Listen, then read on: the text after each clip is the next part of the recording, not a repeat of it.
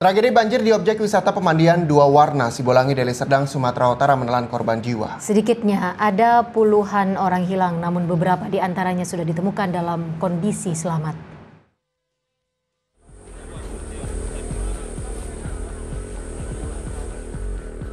Petugas berhasil mengidentifikasi satu dari 14 jenazah korban banjir bandang pemandian air terjun dua warna Kecamatan Sibulangit. Jenazah atas nama Muhammad Priantio ini langsung diserahkan kepada pihak keluarga. Korban merupakan pemandu wisata di kawasan air terjun ini. Korban tewas terseret arus banjir bandang bersama 13 orang mahasiswa yang ikut bersamanya. Tim Disaster Victim Identification Polda Sumatera Utara berhasil mengidentifikasi korban dengan metode primer yaitu pemeriksaan sidik jari dan didukung oleh data sekunder seperti tanda-tanda medis.